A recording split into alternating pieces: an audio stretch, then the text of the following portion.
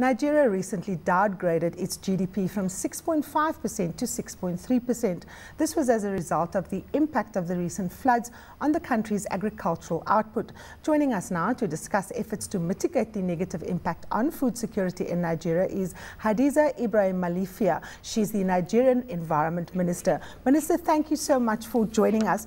Can you take us through some of the environmental factors that may have been responsible for the floods, uh, particularly against reports that the um, reveal that excessive dredging of the Niger River was perhaps a factor to the to the flooding um, in Nigeria that we saw recently. Good evening, and thank you for having me. Uh, well, actually, the dredging of the river cannot be a reason for flooding.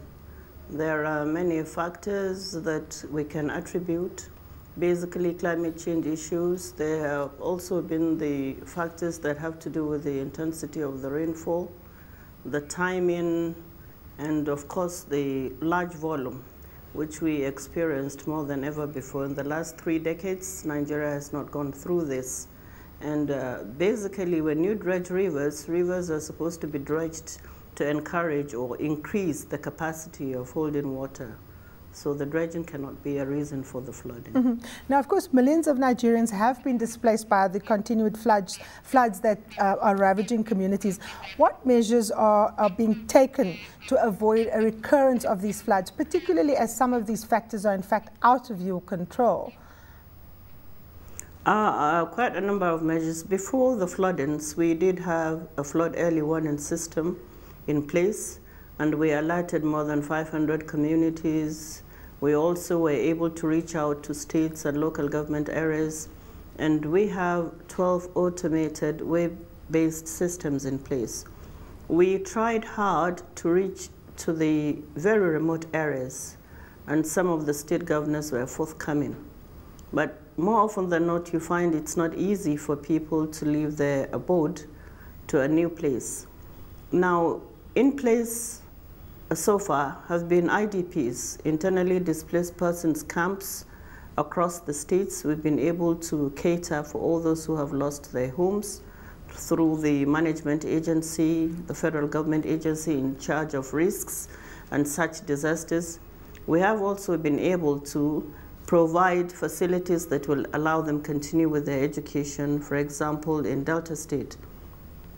I must say, however, that the enormity of this is much more than we anticipated.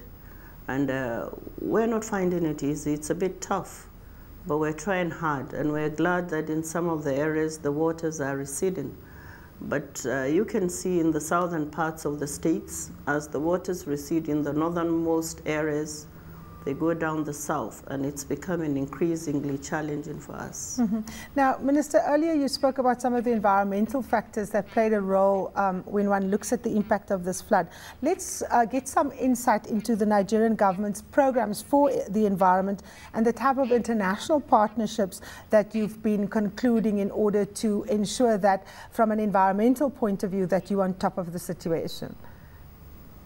Uh, we had earlier much, much much earlier, we've been in uh, partnership with uh, international organizations. The UNDP has always been with us, the UNICEF uh, agencies, World Bank agencies, they've always been in touch with us. But as you know, these are uh, global challenging times. And uh, you can see that this is not just peculiar to Nigeria.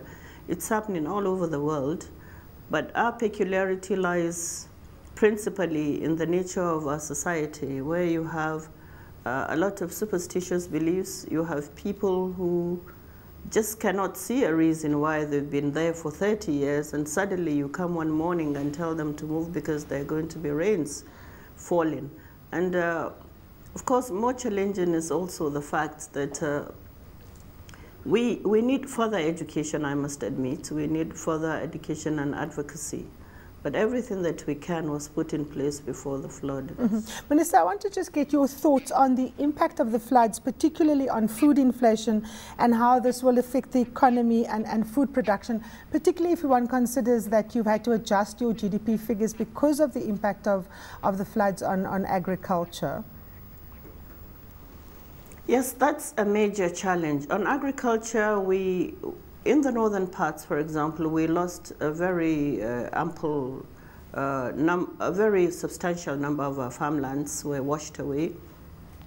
And this, of course, will be a challenge. The federal government, through the Ministry of Agriculture, has worked out modalities to provide those people in areas where the waters are receding with very early harvesting crops, uh, seedlings that they would be, uh, seeds that they would uh, be able to harvest in the next 60 days or thereabouts. And also we do have a, quite a substantial reserve that we would be able to reach out to the people. In the meantime, the issue of food uh, is not uh, an, an, issue in any of the camps. We have much more than uh, we would want to cry that we need food to take into the camps. Rather, our challenge lies in the area of infrastructure development or rehabilitation of the infrastructure and also it lies in the area of what do we do next to avoid further occurrence. Mm -hmm.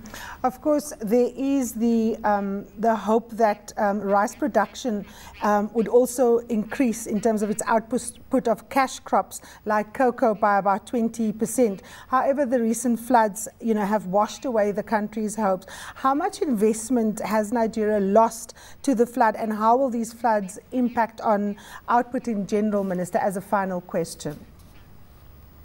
Uh, uh, millions of naira in terms of investment. I wouldn't want to give a figure that would be the uh, Federal Ministry of Agriculture, but I do know that in areas like uh, a state in the middle part of the country, Kogi State, we had one or two farmers committing suicide because of the level of investment they felt they had lost. We have lost substantial uh, farmlands, rice farms, and so on but I assure you that uh, we are a very resilient country. It's been very challenging, it's been very traumatizing, but the government has worked very hard and is working hard to provide alternatives to the farmers so that we can carry on. Uh, we anticipate uh, a very negative impact on food security, but we do not anticipate a crisis situation. I'm sure, God willing, it's something that we can handle.